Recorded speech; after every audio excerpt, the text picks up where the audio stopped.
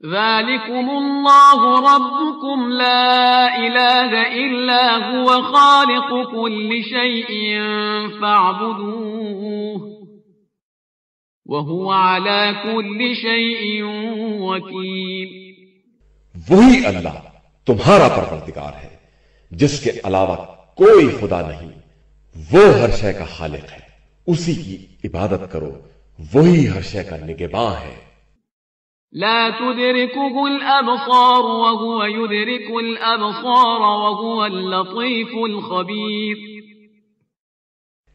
निगाहें उसे पा नहीं सकती और वो निगाहों का बराबर अदराक रखता है कि वो लतीफ भी है और खबीर भी है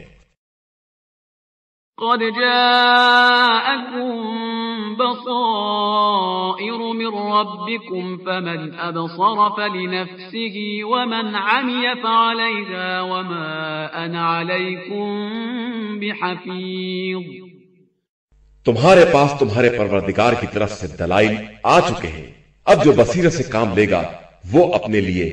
और जो अंधा बन जाएगा वो भी अपना ही नुकसान करेगा और मैं तुम लोगों का निगेबान नहीं हूं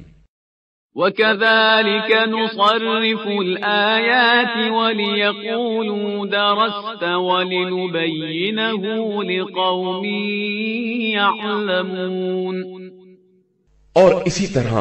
हम पलट पलट कर आयतें पेश करते हैं और ताकि वो ये कहें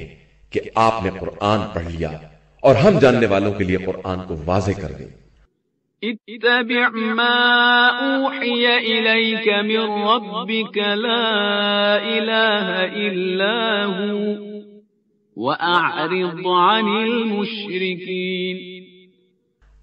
आप अपनी तरफ आने वाली वही इलाही का इत्तबा करें कि उसके अलावा कोई खुदा नहीं है और मुश्रिकीन से किनारा कशी कर लें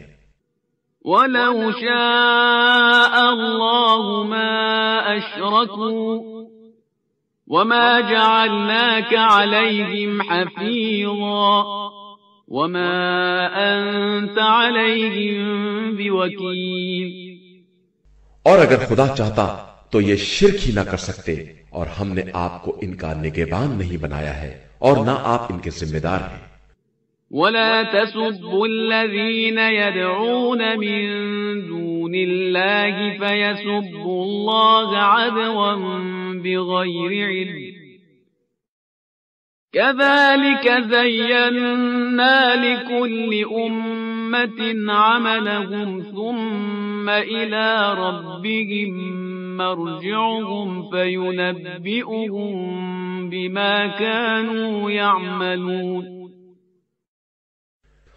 और खबरदार तुम लोग इन्हें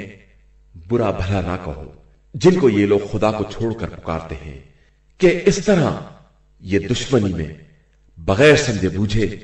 खुदा को बुरा भला कहेंगे हमने इसी तरह हर कौम के लिए इसके अमल को आरास्ता कर दिया है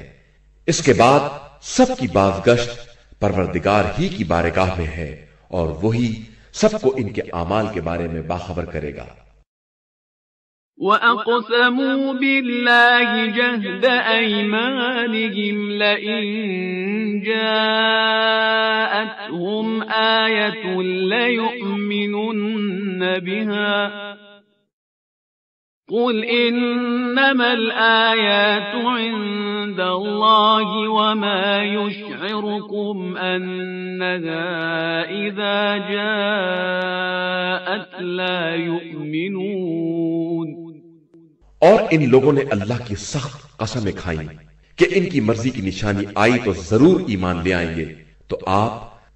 सल्लल्लाहु अलैहि वसल्लम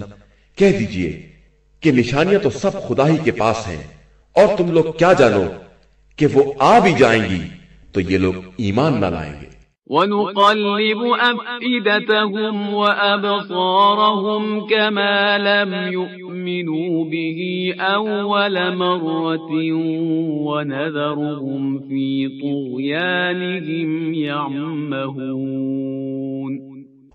और हम इनके कल्ब नज़र को इस तरह पलट देंगे, जिस तरह ये पहले ईमान नहीं लाए थे, और इनको गुमराही में ठोकर खाने के लिए छोड़ देंगे।